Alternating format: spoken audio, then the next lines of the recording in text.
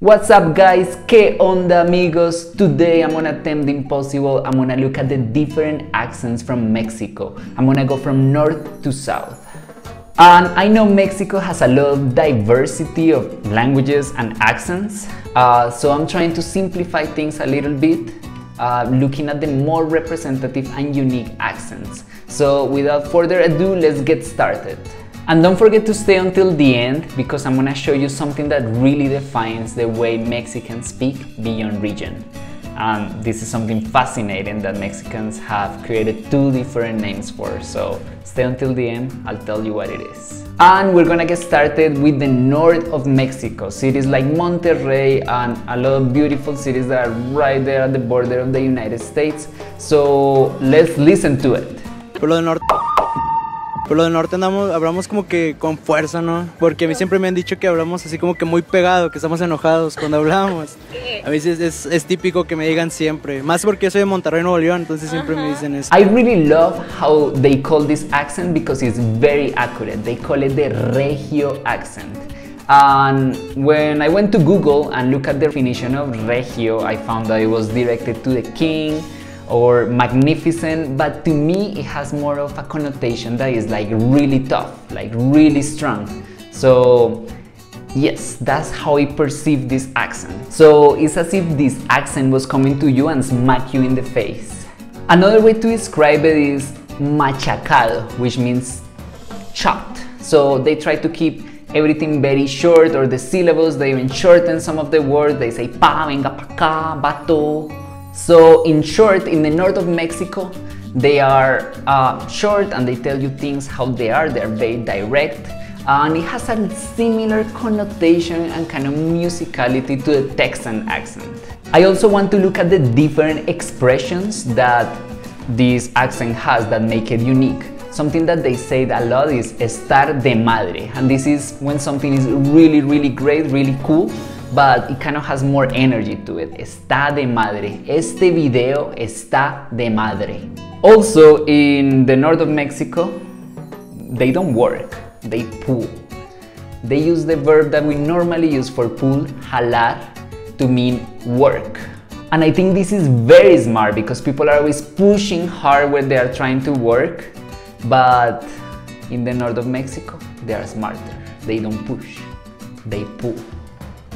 It's also important to point out that the north of Mexico has many variations of the accent. For example, in Chihuahua, instead of going like ch, they go like sh. They go with a more softer sound, so they don't say Chihuahua, they say Chihuahua. And guys, if you wanna have a lot of fun, get the widest person you know to read the word Chihuahua for you. Don't tell them how it's pronounced. It's, it's the best thing I heard. And now we're gonna move to Mexico City, where we're gonna listen to the Chilango accent. So in Mexico City, the people that are from this area, they call it call them chilangos. Está bien chido. Está bien chido. Pero Sí. ¿cómo lo, cómo lo emplearía un chilango? Pues haz... Nataña dijo la china, chido, dijo el... No, pues es de, no sé, si me enseñas tu nuevo teléfono, tu nuevo reloj, y yo te digo, está bien chido, y te lo robo. No, no, no. Es la expresión de está bien, está padre, y para... And I don't know if you notice that something that is very different to the northern accent is that it has more musicality to it. It's more cantaito. So yes, more music to the ears. They kind of elongate their um, syllables a little bit more, uh, which makes for more of a rhythmic pattern to it.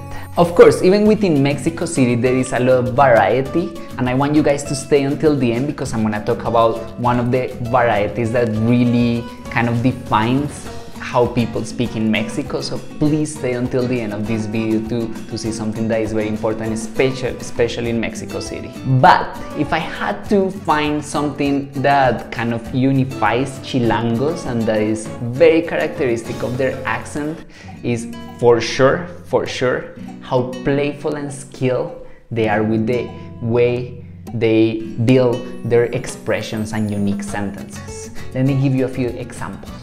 For example, instead of por supuesto, which is of course, they say por su pollo, which is like because of his chicken. Instead of que pasó, which means what happened, they say que Pachuca por Toluca. And I'm not even gonna try to translate that one.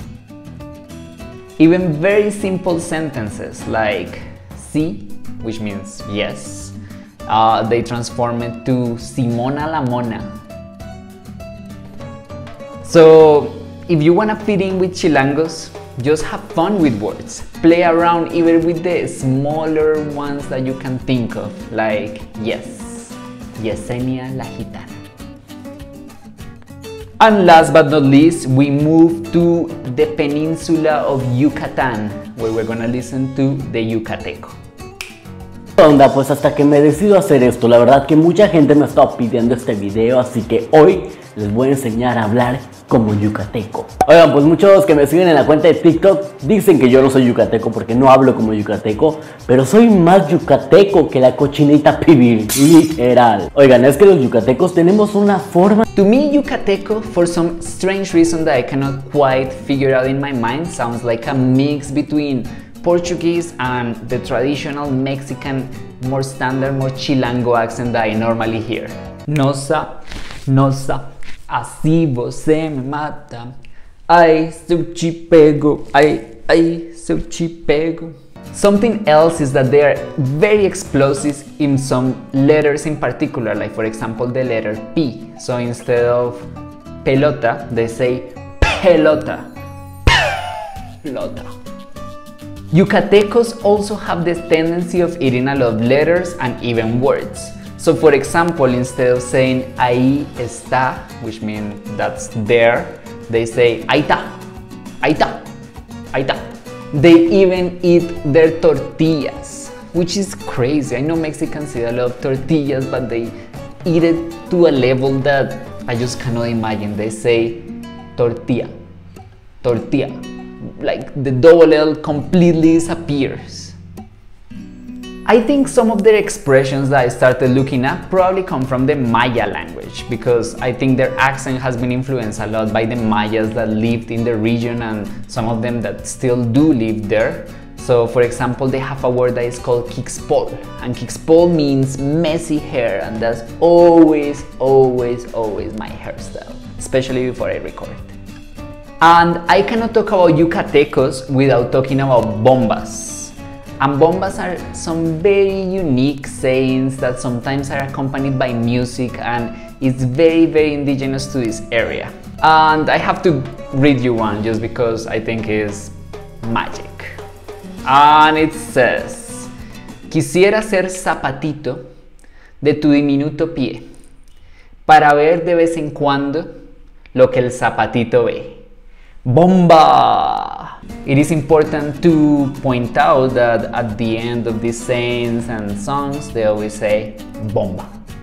Yucatecos, I'm sorry if I didn't do justice to your bombas. Please, please comment below links to videos that uh, tell us about bombas. I really want to see more. This is amazing. Alright, and as promised, I told you that at the end of this video I was gonna tell you something that really determines the way people speak in Mexico and this is also the case in other places, in Colombia, in the United States I'm sure. So this is social class. The cool thing is that in Mexico they have some very very specific terms to define people from either end of the spectrum. On one end of the spectrum we have the fresas, normally strawberries, but in this case it means kind of wealthy and pretentious people, and they speak as if they always had a hot potato in the mouth. Like, hello, hola, yo soy Mexico, uh, ¿qué onda, güey?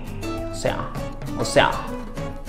And then at the other end of the spectrum we have the nacos and these are maybe more ordinary working class people and they actually use a lot of those playful expressions that I told you that the Chilangos use, but maybe a little bit more crass. So they would say things that, like for example, to say hi, they say, Que Honduras, mi Nicaragua. And I'm sorry, I have to say it with a ñero Colombian accent instead of a naco Mexican accent. Uh, I tried, but I, re I recorded this clip so many times. Alright people, please comment below any more in-depth insights into different Mexican accents. I'm sorry I wasn't able to touch on all of them. Sometimes for my Colombian ear, I didn't have like the like the special superpowers to really tell the difference between place and place. To me, they all sounded Mexican, but I learned a lot and I want to learn more. So please let us know in the comments what else you know about Mexican accents and also don't forget to like this video and subscribe for more videos about languages, accents, culture, and so much more. Adiós mis panas.